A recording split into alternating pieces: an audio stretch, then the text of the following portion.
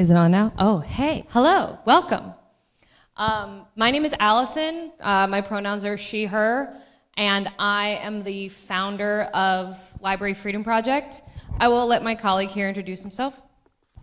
I am Bryan Jones. I'm a librarian at Nashville Public Library, currently librarian means systems administrator.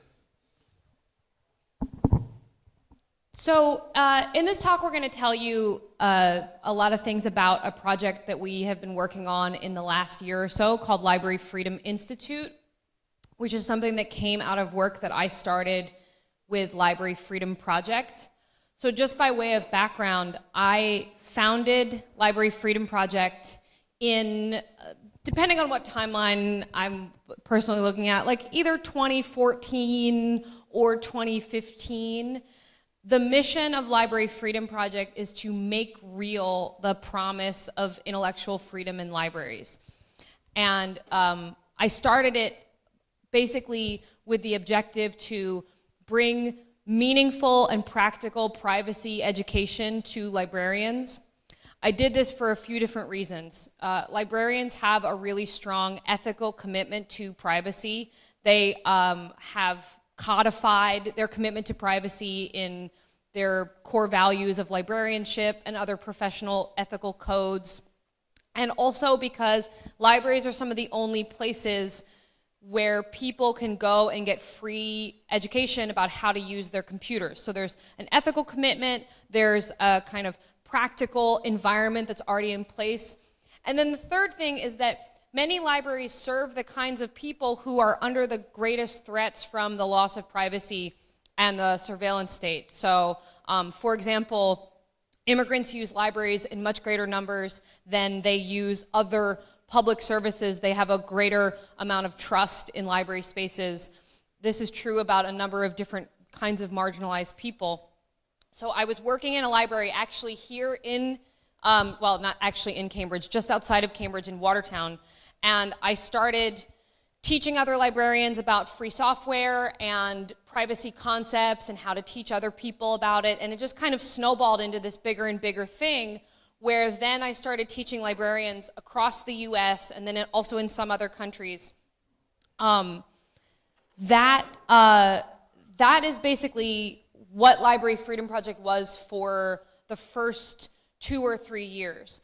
Um, we had a lot of support and a lot of interest in the project. We were very fortunate to win the Free Software Foundation's Award for Social Benefit in 2016.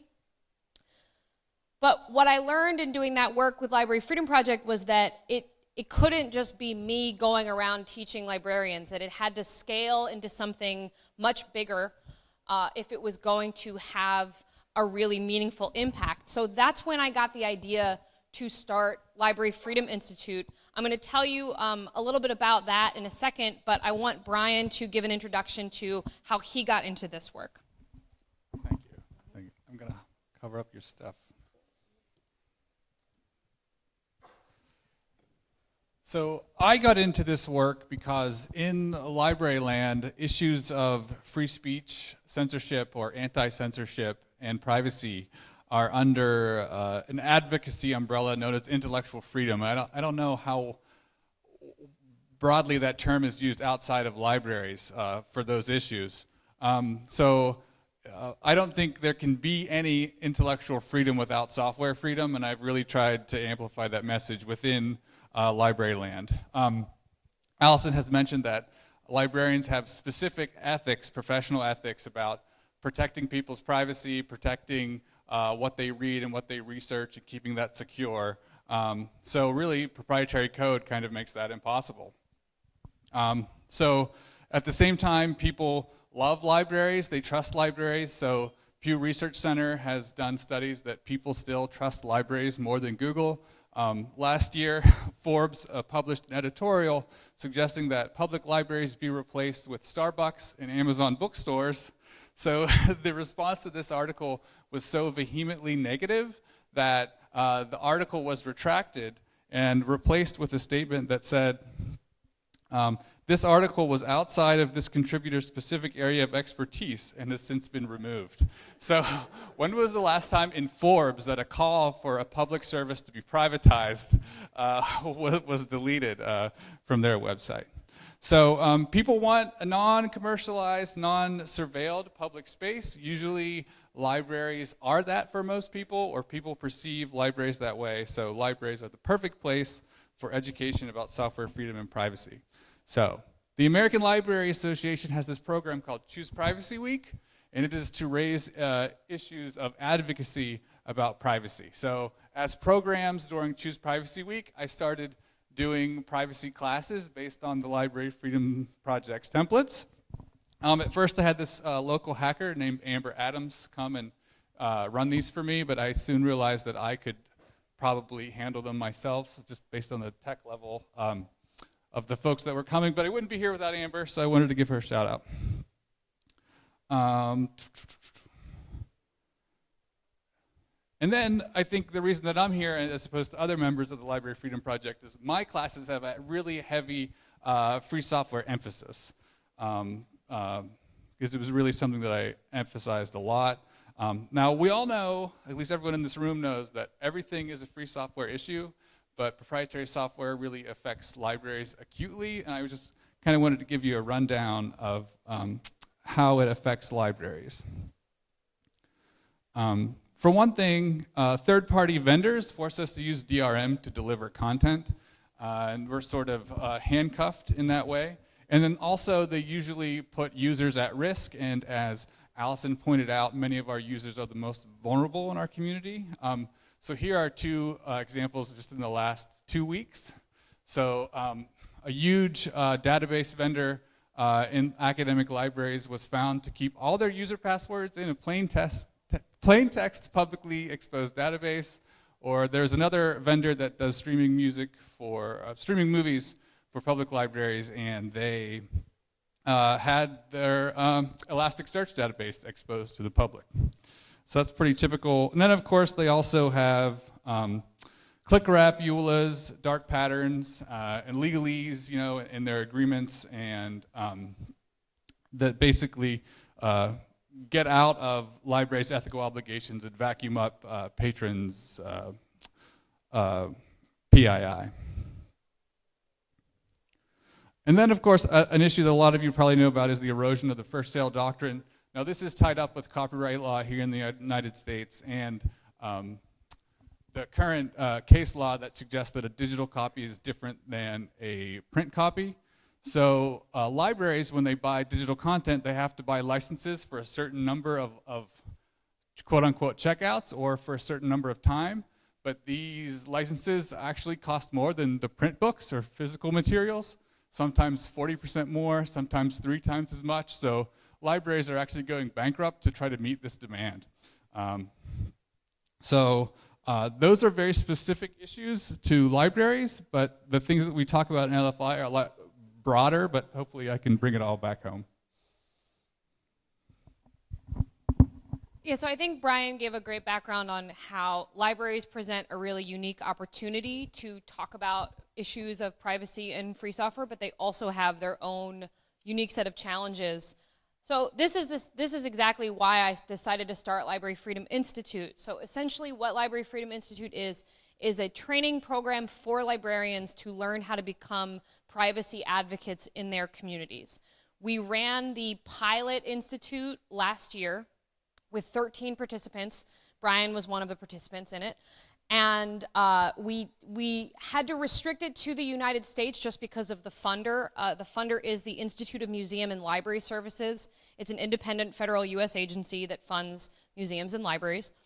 And what uh, the what we did with Library Freedom Institute was, as Bryan said, we tried to have broad themes about surveil- the, the surveillance assemblage, or otherwise sometimes called surveillance capitalism.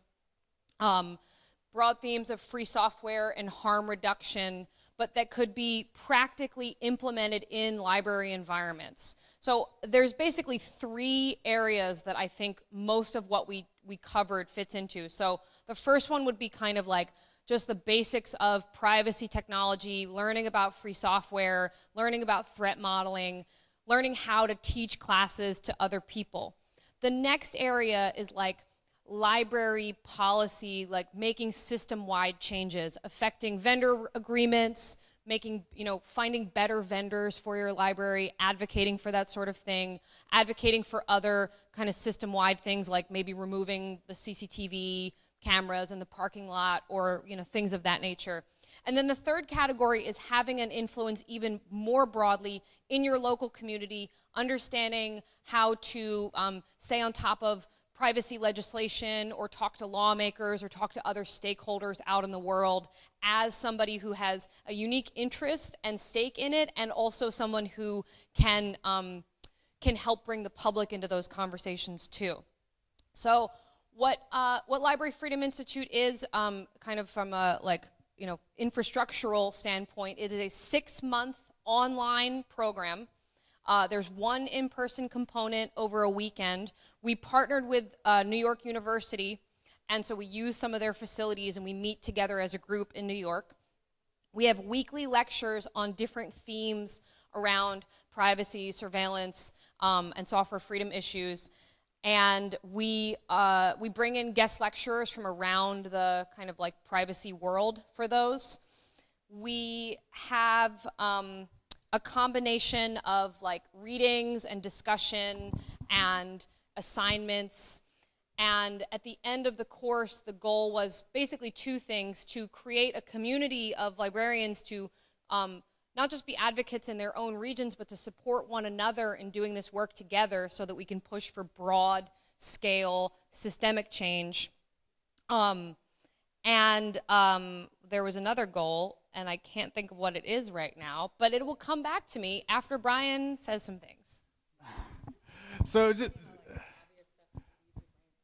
yes. So, so uh, things I learned or things that were made better uh, by LFI. So my classes got way more dynamic as opposed to just like a list of tech tips.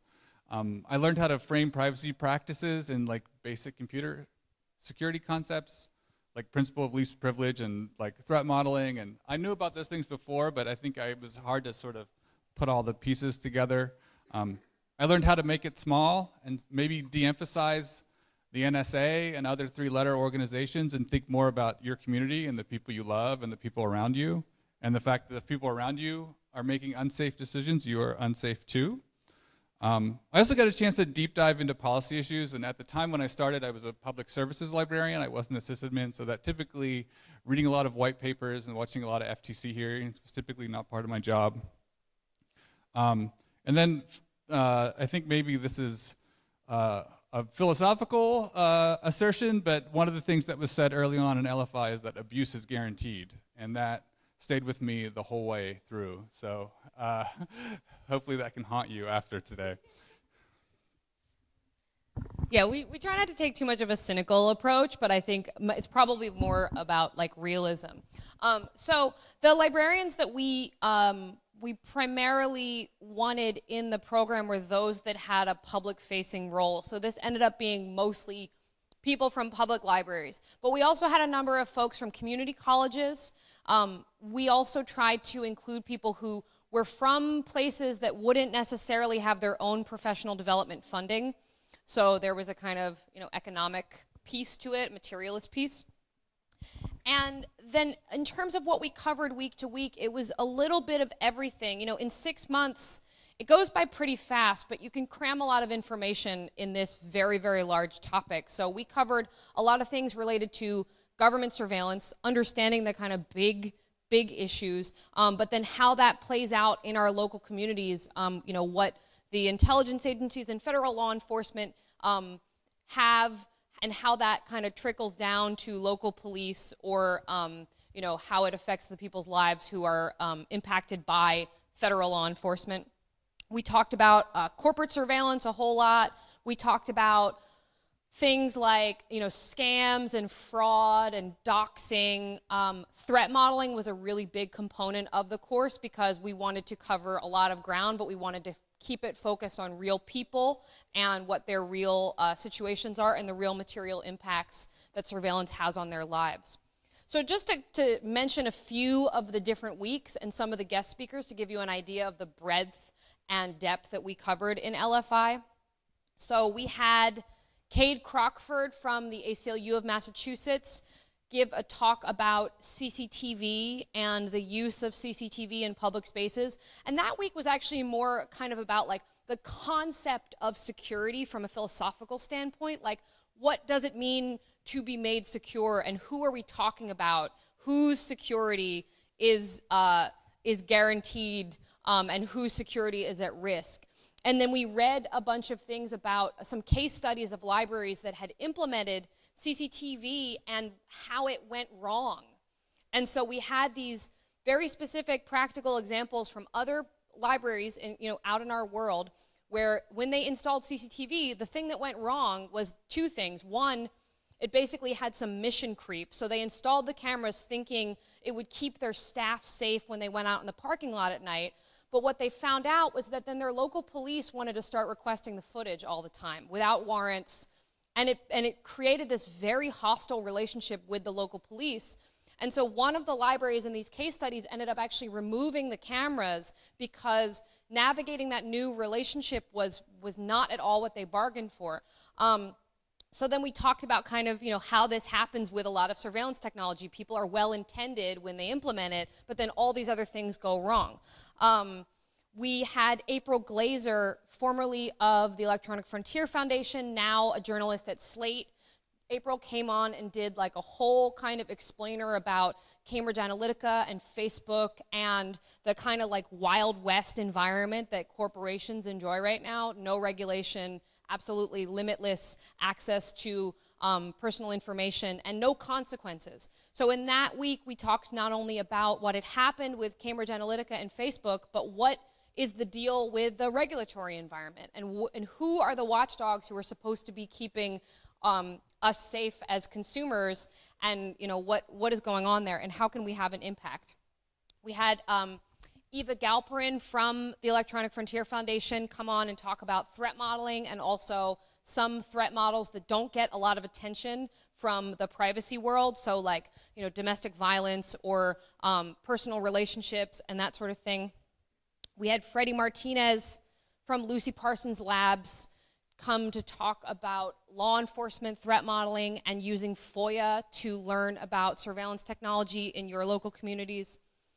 Jessie Rossman, also of the ACLU of Massachusetts, who is a, an attorney there, she came on and talked about the right to privacy and, and you know what it means from the kind of like constitutional standpoint, but how that is actually played out and, and you know, not actually been, been a real reality for um, most communities and certainly for almost no one now.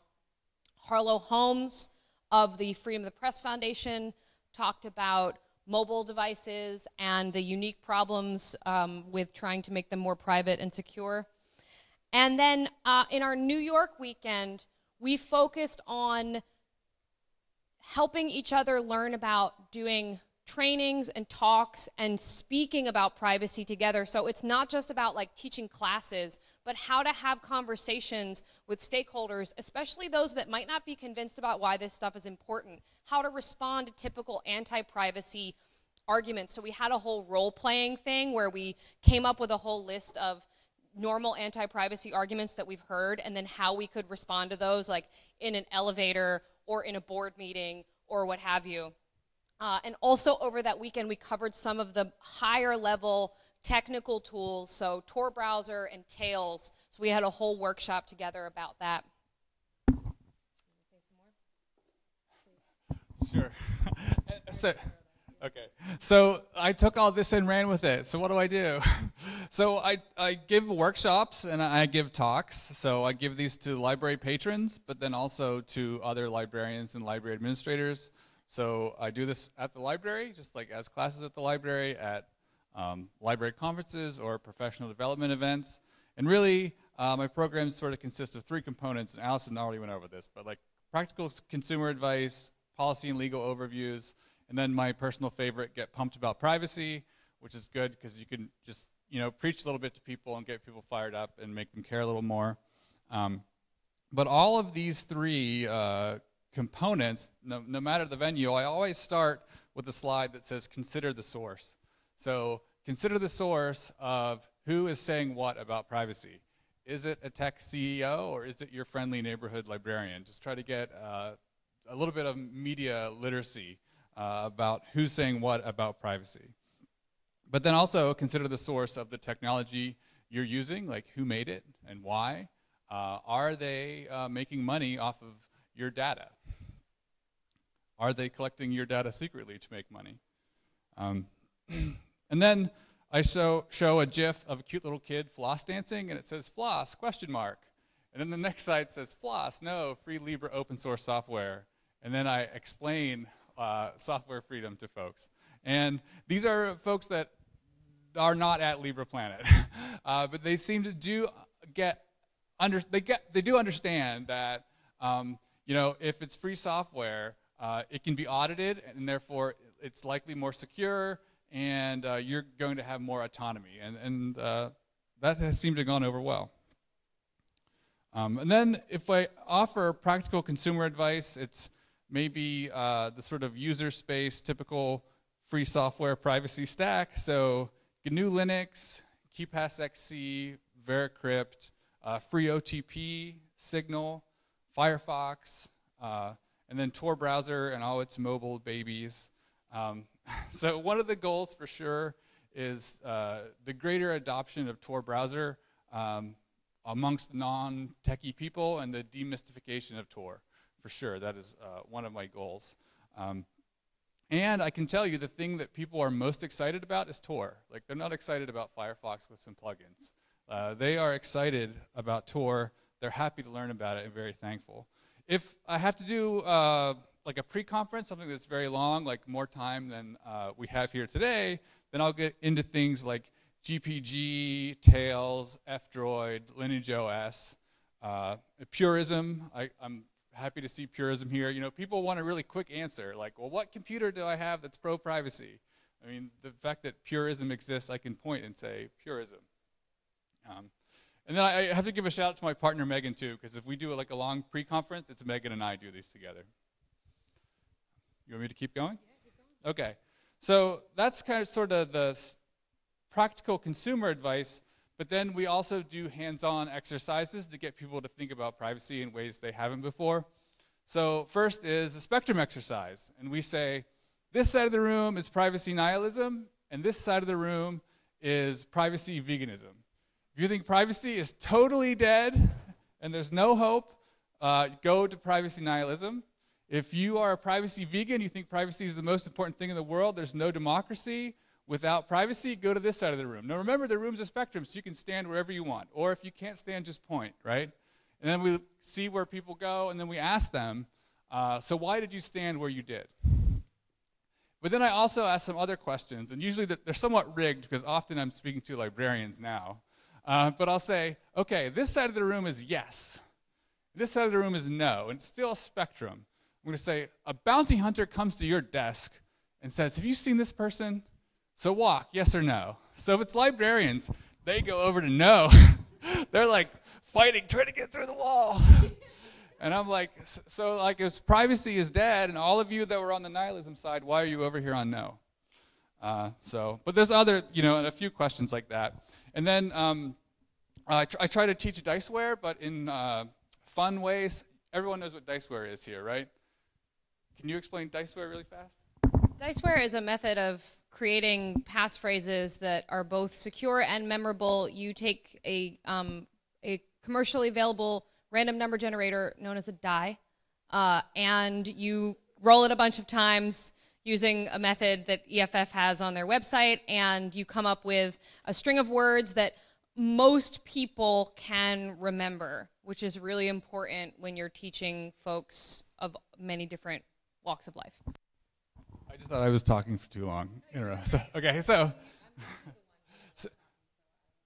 so we will roll up diceware numbers at the beginning without explaining what it is. So later these numbers will uh, translate into words for a passphrase, but we'll just roll up the numbers, and I'll, I'll say to folks, "That's your secret code." aren't you happy to have a secret code? And then we just go through and talk about, so what are best password practices, right?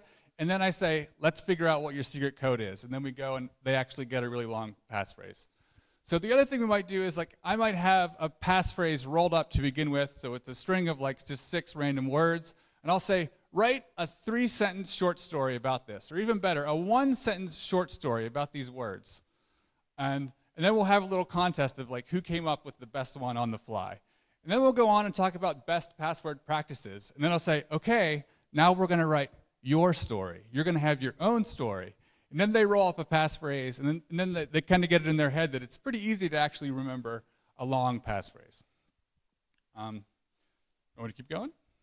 Okay. So the other one we do is the risk versus reward exercise. So again, two sides of the room one side of the room, there's a uh, empty Venn diagram, and it says uh, uh, privacy or security.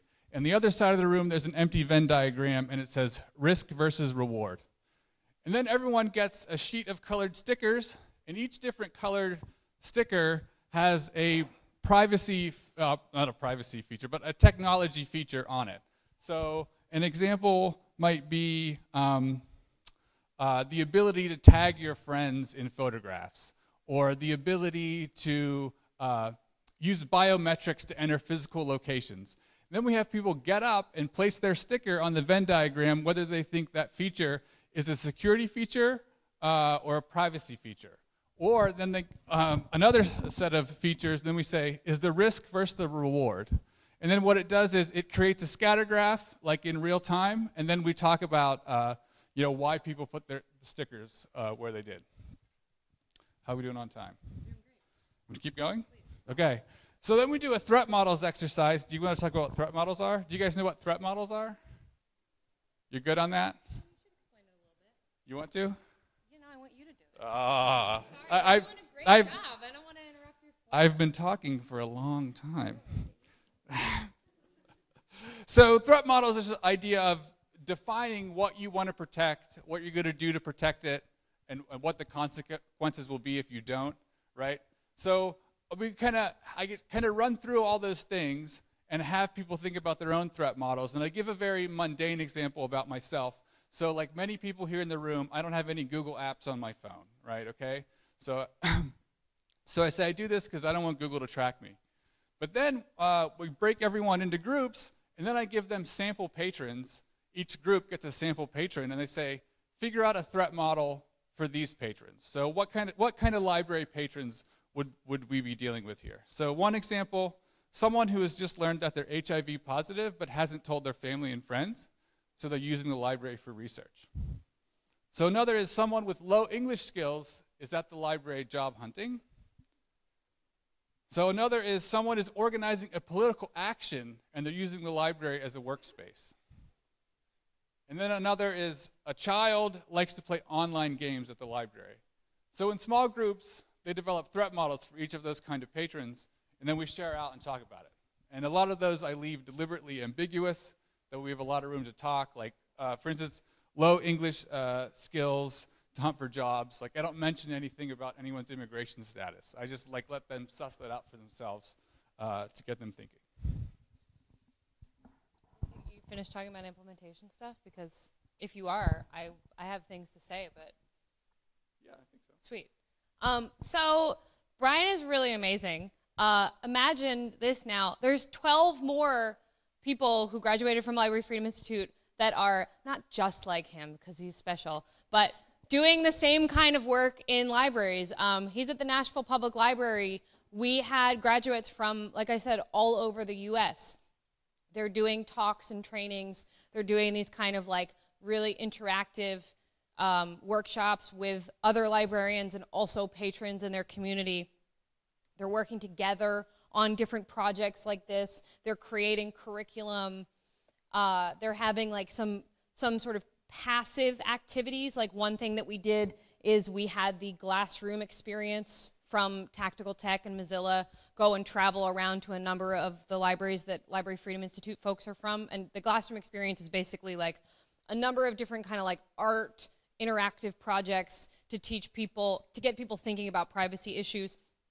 Um, so they're they're now deployed at all these libraries across the U.S. Uh, and what's coming next for us? So we have funding to run Library Freedom Institute three more times for a full cohort, which is 30 people. We're about to start the second one in May. Um, so that means that by the end of, the, of those terms, um, we will have about 100 librarians across the US, um, many of them in similar regions together, working with one another, doing this kind of stuff, influencing um, their local library spaces and teaching other people. Um, so I think it's, it's a really exciting future for us you know, something that Bryan and I were talking about um, earlier was that right now, where we are with Library Freedom Institute, you know, 13 people is great, but it's still, what did you call it? Library Freedom Project Plus? I would say everything, everything, that, everything that I described is really Library Freedom Project Plus. And I, the potential of Library Freedom Institute is like we're just getting started. Uh, because some of those problems that I mentioned at the beginning with proprietary software and DRM, if we have an army of library advocates uh, around the country, like we can push back on that a lot harder than just me here at LibrePlanet. Yeah, and so that that's the idea is creating this community. So um, just to wrap up, to tell you kind of like how you know if you know librarians who would want to um, apply for the institute, you can get in touch with us at info at libraryfreedomproject.org or just go to libraryfreedomproject.org. Our curriculum our discussions, everything is open. Um, I, I don't have time to get to like our, you know, kind of like technical infrastructure, but we we publish everything openly that we're working on, and so you can follow along. You can even watch our lectures and read our discussion on our discourse forum. And I think we just have a few minutes for questions if anyone has any questions. But thank you so much for listening to us talk about our cool project. And yeah, that's it. thank you.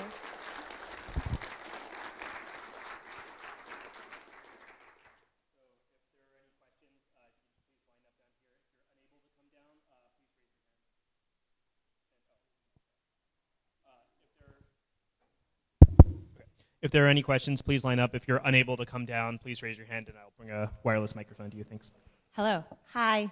Hi. I'm so happy to see y'all. Yay, so thank I'm a you. librarian, Woo! Which, um, but I am actually now a doctoral student, and I work with master's students who are learning to be librarians.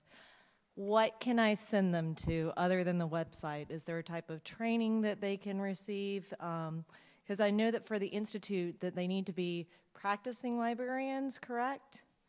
Well, not exactly. So it's we prefer people who are who are already employed in a library for sure because there's a lot of like stuff that we want them to go and do in their environments. But each cohort, what I'm learning is like they just have to be kind of complementary to the other members of the cohort, right? So it depends a lot on who applies for the next one.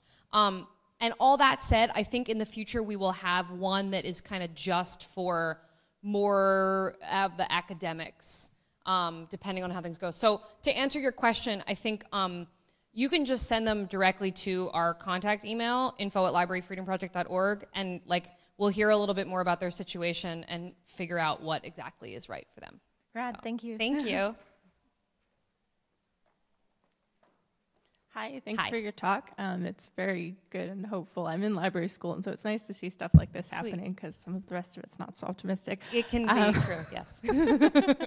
Um, one of I have a bunch of questions. One of the things I was wondering about in terms of people coming to the institute, because at least in the program I'm in, the like technical side is pretty seriously lacking. Do you have to do a lot of catch up? Do people do a lot of self study? Like, how do you transfer those sorts of skills? Because some of it ends up being that. Great question. I'll say a couple things and maybe you can also. Um, so uh, the, the people who were in the last cohort, I think were really all over the map in terms of their technical understanding. I tried to make it so that we had some like kind of heavier hitting technical stuff, but we we started on the fairly simple things, so passwords, and we had some um, some of our guest speakers covered some like really kind of basic 101 level you know, security and privacy stuff. Um, so I don't think that it's necessarily true that people have to play catch up, and we try to have, um, we try to make it so that you can participate where, wh- at whatever level you're on.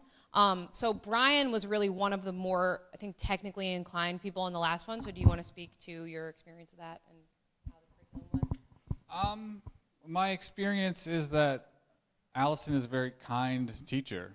So I, I, I think that she's a really good example of how uh, free software can be accessible. And uh, if someone has concerns about them not having the tech skills that they think they need or something, they would be fine in Library Freedom Institute. Yeah, and I think just one more thing to say in the in the beginning, I had some um, ambitious goals for teaching like Git and things like that, and it just got dropped because I, I could tell that some of the folks weren't ready. So it, it's a it's an organic kind of developing thing depending on who is in the cohort. So Cool. Thanks for your work. thank you. Hello. Hello.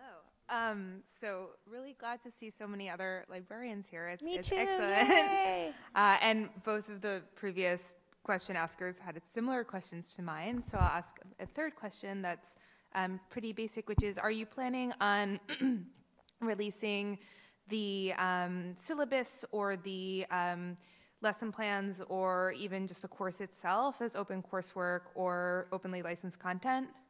Uh, Yes. Open, open educational resources? It's already all um, most from from the last cohort. It's on our GitHub repo um, under a an open source license, and I forget which one actually. Is it Creative Commons? I don't remember, but it's it's all under permissive open source license. And um, the next one, I think we're not going to use uh, GitHub. We're going to put we have a, a MediaWiki. Um, that we're using, and so it'll be it'll all be up on there. And so what's on there? Um, our our schedule and weekly curriculum, so the readings and discussion questions. Our discussion forum can be, um, you can only um, have write access if you're in the cohort, but you can have read access if you're anybody, and so that's just um, libraryfreedom.chat. And then um, the lectures are, um, are recorded and also hosted on our site, so Cool, thanks. thank you. Thank you. Great talk. Thank you. I uh, brings up, th- I'm sorry, three questions. Is uh, all those great talks that you ta- that you mentioned, are they out there on video streaming by any chance, or We don't stream them. We record the lectures, and they're on. Um, they they are on our wiki, Uh, Okay, so, you- so we could get to them. Mm-hmm. And the next thing is, if I have a, a work that I want to contribute to my local library, is it true that they can't put it on the shelf without paying uh, an additional licensing fee? Uh, well, every library is different, but um, they there are some fairly restrictive collection development policies. Do you want to speak to that at all? I think that's basically all there is to say without knowing exactly what library. I mean, they do have requirements about um, what they what they can and can't include in the collection. Um, Sounds more complicated than I might have thought. yeah, and honestly, there it's it varies so much at a granular level um, that I every library I've worked at is different.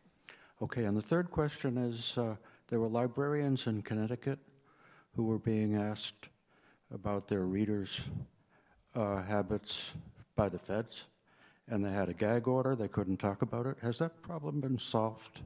Yes, so what you're referring to the Connecticut Four. They received a national security letter in 2005.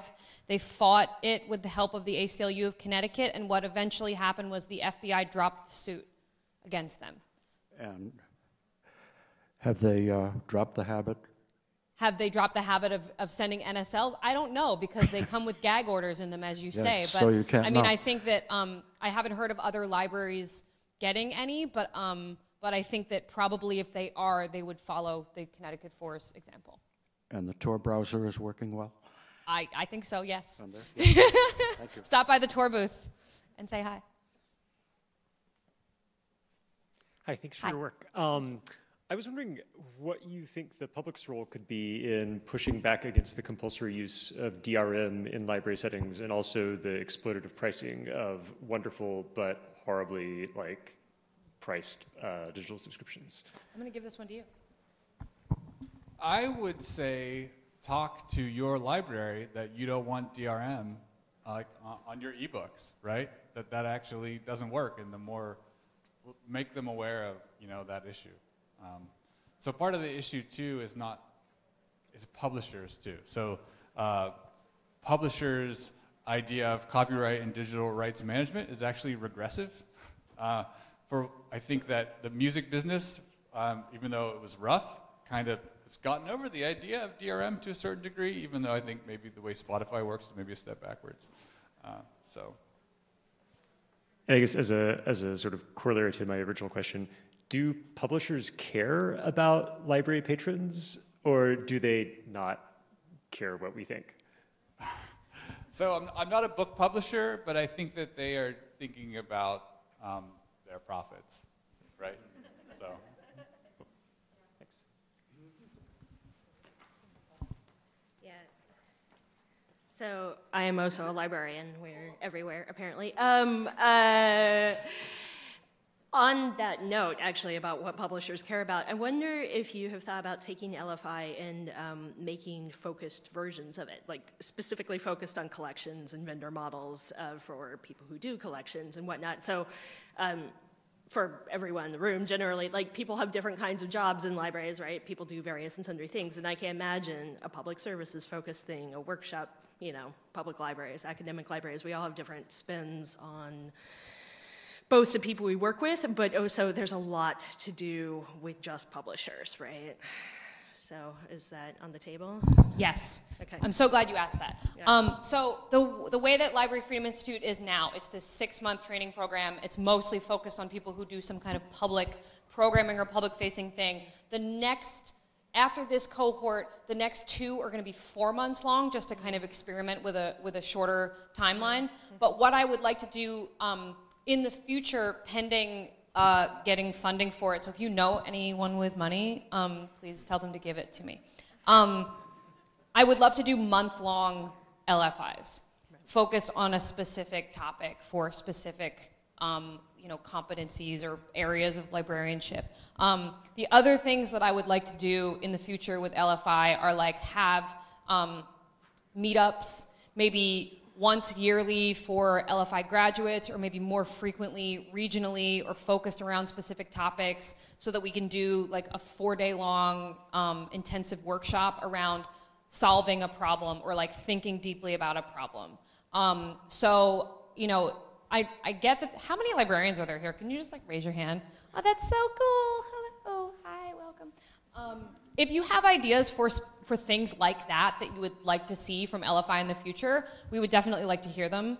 Um, and then just in case anyone is curious, like the future future, I want to turn Library Freedom into a cooperative. So um, if you know about doing that, um, it seems hard. And so tell me how to do it. Uh, so yeah, thank you for your question. I hope that answered it. Yeah, I do know Micky Metts, and I was planning on talking to her about it, so thank you for reminding me that. Hi. So uh, whenever I connect to my uh, public library account, it is always over. Uh, Can you can you go a little closer to the mic? I'm sorry. uh, can you hear me now? Yes. Yeah. So whenever I connect to my uh, public library account, it is always over HTTP. It is never HTTPS, and uh, my borrowing history I was never able to find. I don't know whether it's good or bad. So as part of your initiative, are you making sure these things are secure? And uh, you talked about money. Uh, are you taking donations for this initiative? Am I taking donations for? I'm sorry for for teaching HTTPS. Is that what you said? So if, if you want to donate to this initiative, uh, uh, how do we do that? Oh yeah, you there is a you can donate to Library Freedom Project. We are um, your donations are tax deductible. We're fiscally sponsored by the Tor Project. Um, thank you, Tor. And so um, yeah, there's a donation link on our on our page if you want to donate. And uh, my, my previous question, as part of your initiative, are you making sure this kind, uh, the data or uh, this kind of account settings, all these? Uh, I'm sorry, I'm having a little bit of a hard time hearing you. So my first question was, Uh-huh. whenever I connect to my public library account, it is always via HTTP. It is not via HTTPS. Yes. Uh-huh. And um, I never able to find my borrowing history.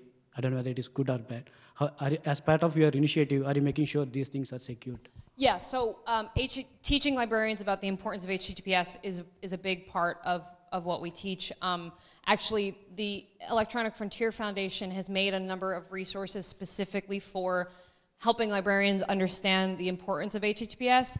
and using things like Let's Encrypt and making it a little bit easier for them to encrypt their whole websites. And so that's something like one of the earliest victories I think we had with Library Freedom Project was um, we did something called the um, Library Digital Privacy Pledge, where we had libraries, vendors, um, different like like library consortiums, like people, you know, organizations that provide services to libraries.